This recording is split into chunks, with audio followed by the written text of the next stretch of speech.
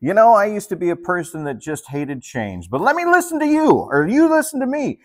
I went to the coffee shop today. I normally get black coffee, but today I got a chai latte.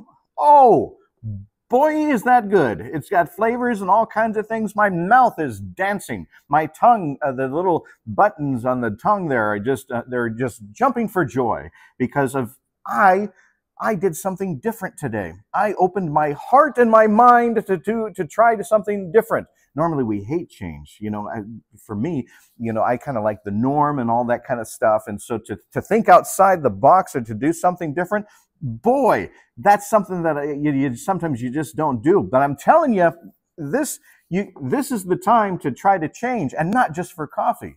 I, I'm gonna. It's opened my world to everything. You know, we can maybe we could listen to other people maybe we could listen to ideas. Maybe we could, we try things that we didn't think that we would like, or, or, or, just try things new, listen to some different music, but just hear other ideas and thoughts. And we don't have to always walk away thinking that we're going to, you know, live by those other ideas and thoughts, but we can open our minds to, to the, to the idea of it. And if something in our life changes, then we can also maybe see that that could actually be a good thing. I, what kind of coffee was I drinking? It was like a the kind in the can. I mean, it's like old church coffee. I mean, it's it comes out solid.